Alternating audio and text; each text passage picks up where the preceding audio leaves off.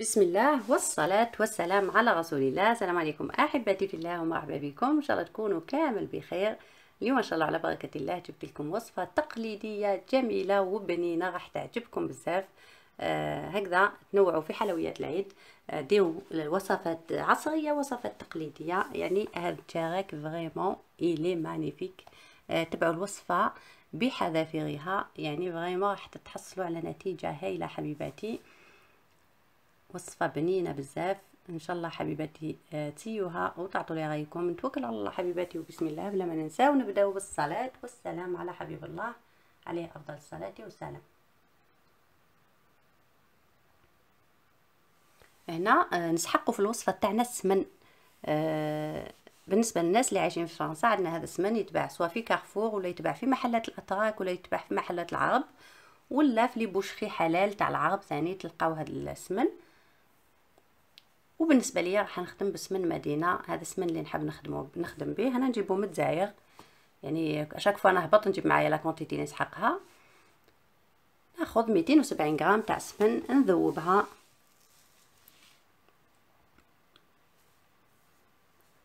نذوبها. عفوا. نذوبها ونخليها تبرد. وهنا حبيباتي نجو نوجدوا la recette تاعنا الوصفة تاعنا.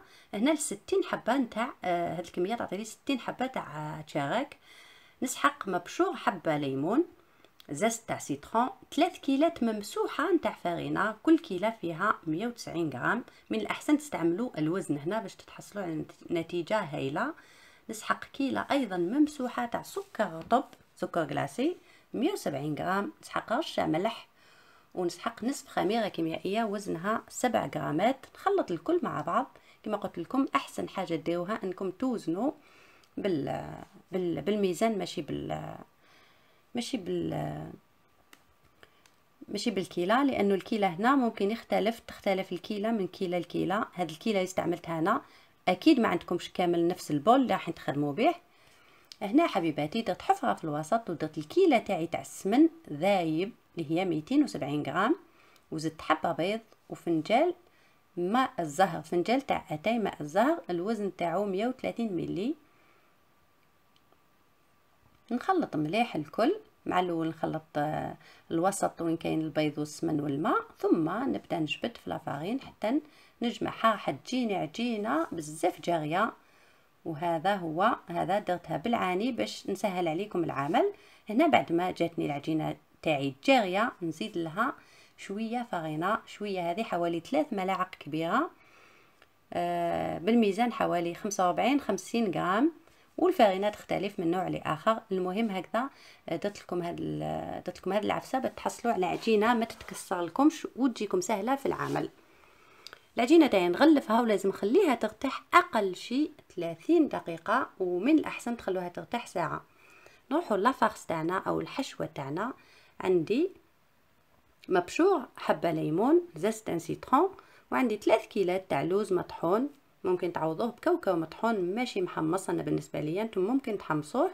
كيلة تاع سكر سكر عادي سكر كريستاليزي. الوزن تاعها 200 غرام. وملعقة تاع زبدة ذايبة.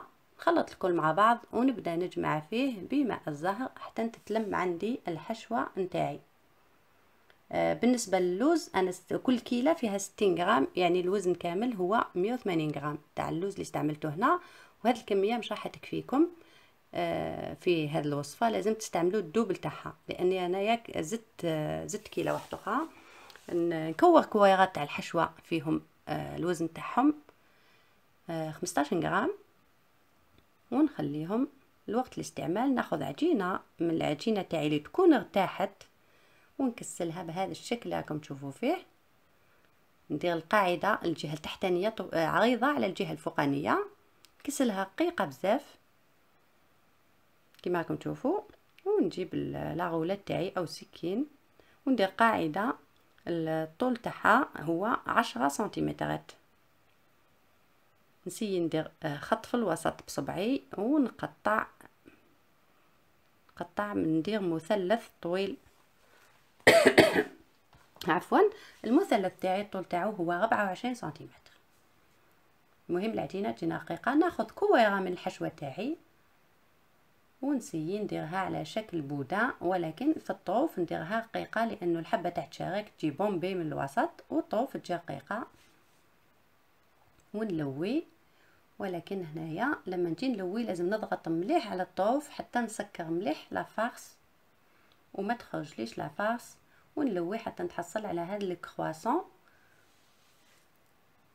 هنا ندهنو بحبة بيض مضربه وعندي هذا اللوز آه، حرش هكذا مرحي خشين. يتباع هكذا في الأسواق. أنا شريته Promocash. نغمد فيه التشارك تاعي. ممكن تستعملوا كاوكاو مطحون أيضا. ويكون محم... آه، ما يكونش محمص لأنه راح يطيب راح يتحمص في الفرن. هنا بعد ما نغمدها نحطها فوق le plan de travail ونسي نضغط على هذاك على هذاك اللوز باه يدخل وما يطيحش. ابخي ما يطيب ما يعودش يطيح لكم نتوما تاكلوه هو يطيح في, في الأرض ولا فوق الطبسي ولا.